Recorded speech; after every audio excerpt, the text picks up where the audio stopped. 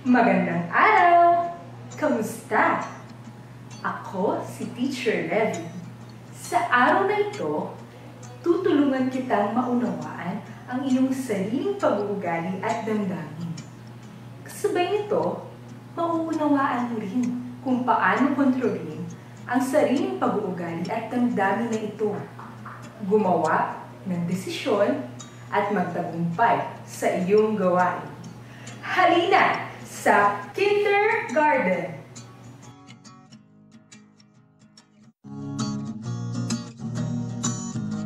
Pangangalaga sa sarili at katawan. Pagtulong sa magulang sa gawaing tahanan. At pagiging responsableng mamamayan. Lahat yan dito matututunan. Kahit wala ka sa paaralan Marami pa ring kaalaman. Halina sa kindergarten. Dito'y puno ng kasiyahan. Ano pa ang iyong iniintay? Isama mo na rin si nanay at tatay. Sa'yo'y aking alay. Edukasyon at tagumpay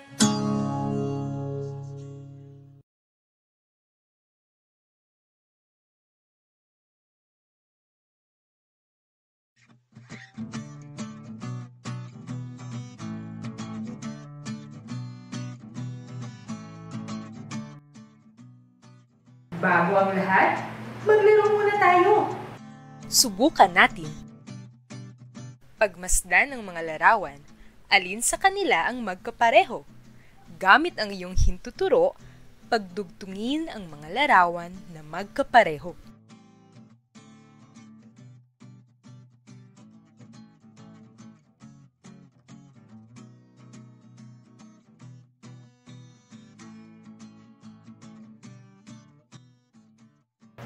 Tingnan natin kung tama ang iyong mga sagot.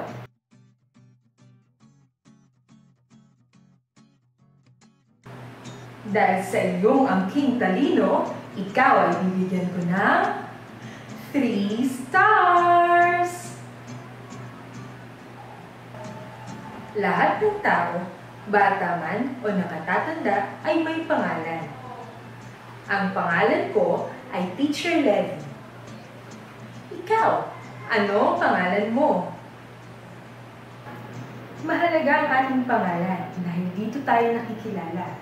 Espesyal ito dahil ibinigay ito sa atin ng ating magulang noong tayo ay isinilang. Halika, gumawa naman tayo ng sini. Upang may pagmalaki rin ang iyong pangalan, ikaw ay gagawa ng name tag na kagaya ng sa akin. Madali lang, tutulungan kita.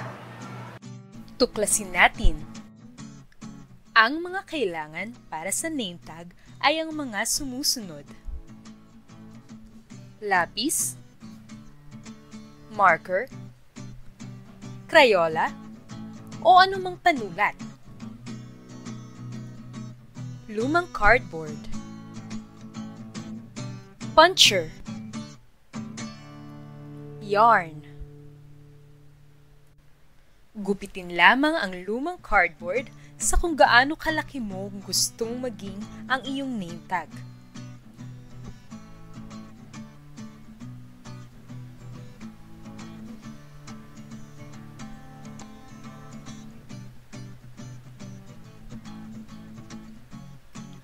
Gamit ang lapis, marker, crayola, o anumang panulat, isulat mo ang iyong pangalan sa cardboard.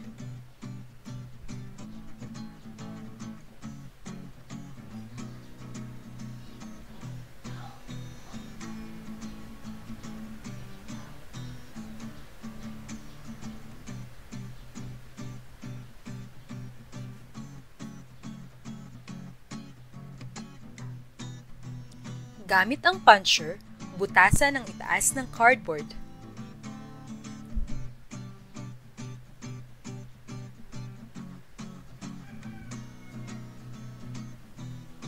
Lagyan ito ng yarn.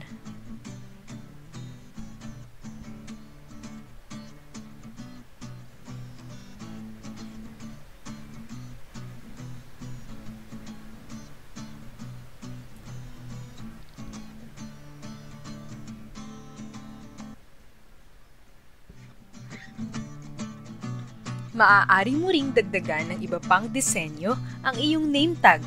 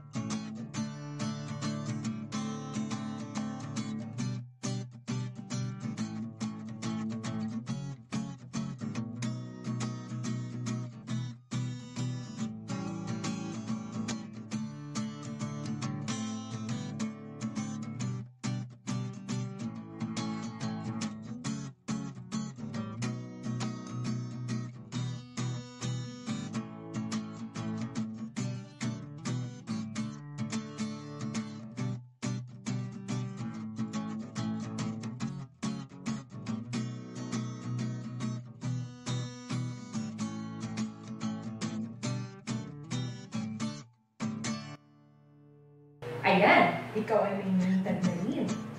Dahil sa iyong pagiging malikhain, ikaw ay bibigyan ko ng 3 stars! Suriin natin. Ako si Michael de la Cruz. Mike ang tawag nila sa akin. Ako ay lalaki. Limang taong gulang na ako. Gina Santos ang pangalan ko. Jean ang tawag nila sa akin. Babae ako. Ako ay limang taong gulang. Si Mike ay isang batang lalaki. Tingnan ang larawang ito. Sino sa kanila ang mga batang lalaki na kagaya ni Mike?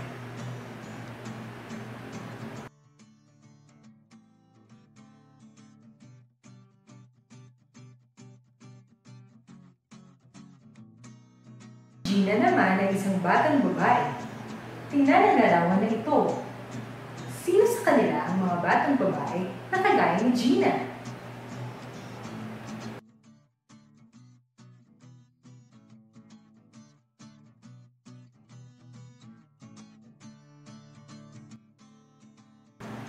Dahil sa iyong angking talino, ikaw ay bibigyan ko ng 3 stars! Pagyamanin natin. Alalahanin, ang batang mabait ang siyang maraming kaibigan. Ang batang mabait ay rumerespeto sa pangalan ng iba. Sa kanilang mga gusto at gusto, maging sila man ay babae o lalaki. Huwag pagtatawanan o manumukso ng ibang bata dahil sa kanilang pangalan, itsura o gustong gawin. Hindi ba mas masaya ng maraming kaibigan? Isagawa natin.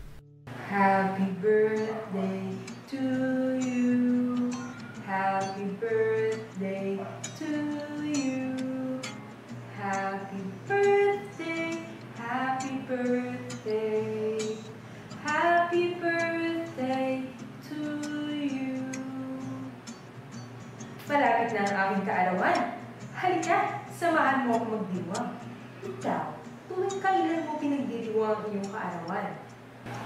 Sa kaarawan ko, gusto kong makatanggap ng isang aklat. Babasahin ko ito lagi para ako ay matuto. Ikaw, ano ang gusto mong matanggap sa iyong kaarawan? Sige, Ibubulong natin kay nanay at kay tatay ang iyong hiling para sa iyong kaarawan. Pero sa ngayon, gumawa muna tayo ng isang simpleng birthday cake para sa iyong nalalapit na kaarawan. Ang mga kailangan para sa iyong birthday cake ay ang mga sumusunod. Isang maliit na cupcake.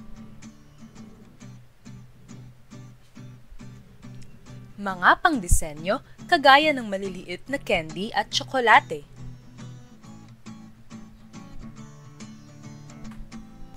Toothpicks. Ilagay sa isang malinis na plato ang cupcake. Lagyan ng mga disenyong candy at tsokolate ang iyong cupcake na naaayon sa gusto mo.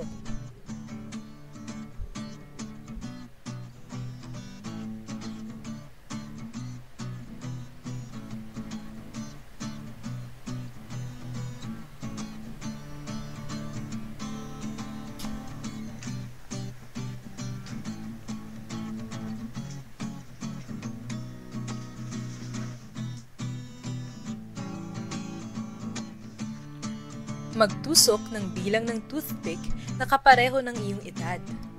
Ang ilalagay kong toothpick sa cupcake na ito ay lima. Bilangin natin. Isa, dalawa, tatlo, apat, lima.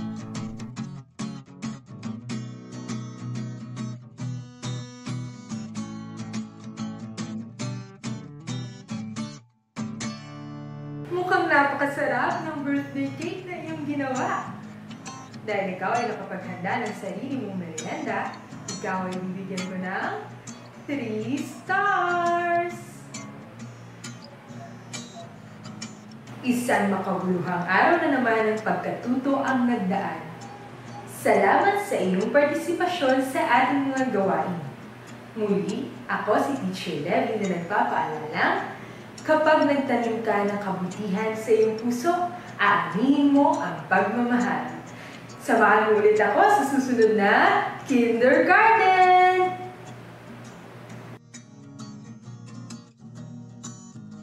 Pangangalaga sa sarili at katawan Pagtulong sa magulang sa gawaing tahanan At pagiging responsableng mamamayan. Lahat yan dito matututunan Kahit wala ka sa paaralan. Marami pa ring kaalaman. Halina sa kindergarten Dito'y puno ng kasiyahan. Ano pa ang iyong iniintay? Mo na rin si nanay at tatay Sa'yo'y aking alay. Edukasyon at tagumpay